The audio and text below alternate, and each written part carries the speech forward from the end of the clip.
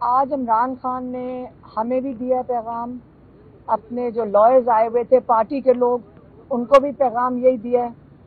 انہوں نے کہا کہ اس وقت کہہ تو وہ بہت دیر سے رہے ہیں کہ اس وقت تین سرکاری ملازم ہیں جن کو ایکسٹینشن دینے کے لیے پورا ملک کا نظام لپیٹا جا رہا ہے۔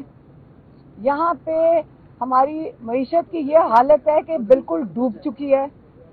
لیکن ان تین ملازم جو سرکاری ملازم ہیں، اس وقت ان تینوں کی ایکسٹینشن کے لیے آپ دیکھ رہے ہیں کہ کس قسم کا انسانی حقوق کا کو پامال کیا جا رہا ہے۔ اس وقت آپ نے دیکھا تھا کہ جلسے کے بعد اسمبلی کے اوپر جو عوام کا فورم ہے، اس کے اوپر اٹیک ہوا ہے اور ابھی جو یہ بل لے کر آ رہے تھے اس اتوار کو وہ بل کا مقصد یہ تھا کہ آپ ایک قانونی طریقے سے، جمہوری طریقے سے ماشاء اللہ لگا دیں پاکستان کے اوپر۔ تو یہ انہوں نے یہی بتایا کہ یہ سارا کچھ ہو رہا ہے کیونکہ ایک ہے آٹھ فروری، جس کے اوپر جو مینڈیٹ لوگوں کا چوری کیا گیا ہے، اس کو، اب جو چوری ہے، اس کو بچانے کے لیے آپ کو قاضی فائز عیسیٰ کی ضرورت ہے۔ آپ کو ایک اور چیف ہے وہ جو سلطان کیا نام ہے اس کا؟ راجہ سلطان۔ سکندر سلطان۔ ایک سکندر سلطان کو بچانا پڑے گا کیونکہ اسی کی ذمہ داری ہے کہ یہ جو چوری کیا ہوا مینڈیٹ ہے یہ واپس کیا جائے۔ اور جو تیسرے چیف ہیں آپ کو ان کا تو پتہ ہے یہ سارے جو ریٹائرڈ لوگ ہیں ان کو ایکسٹینشن دینے کے لیے یہ سارا پاکستان کا نظام لپیٹا جا رہا ہے۔ اس لیے عمران خان کہہ رہے ہیں کہ اب وقت آ گیا کہ یہ جو بل لانے کی ایک دفعہ انہوں نے کوشش کی ہے، یہ دوبارہ بھی کوشش کریں گے۔ اگر اس بل کو کامیاب کرنے کی انہوں نے کوشش کی، تو پاکستان میں جو اس وقت حالات ہیں، اس سے بدترین حالات ہو جائیں گے۔ اس وقت حالت یہ ہے کہ آپ خواتین کے اوپر حملہ کس وقت کس لوگوں کے اوپر ہو رہا ہے؟ خواتین کے اوپر۔ یہاں پہ وہ مبشر؟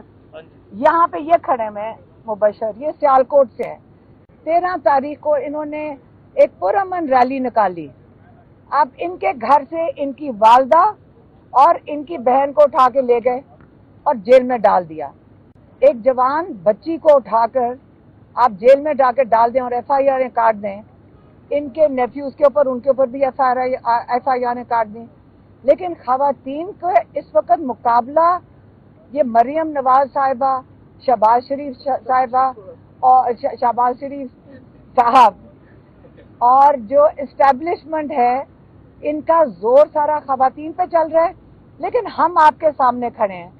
عمران خان نے کہا ہے کہ سارے اپنا نظام بچانے کے لیے اور جو نائنتھ میں کی جو انہوں نے بات کی ہے وہ میں بھول گئی کہ انہوں نے دو باتیں کی تھیں۔ ایک آٹھ فروری اور دوسری نو مئی کی۔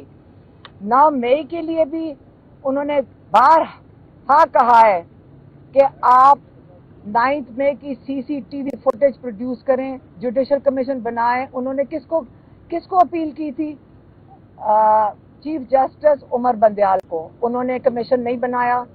انہوں نے نہیں سمجھا کہ اس کی انویسٹیگیشن ہونی چاہیے۔ اور قاضی فائز عیسیٰ تو سوال ہی نہیں پیدا ہوتا کہ وہ اس کی انویسٹیگیشن کروائیں گے۔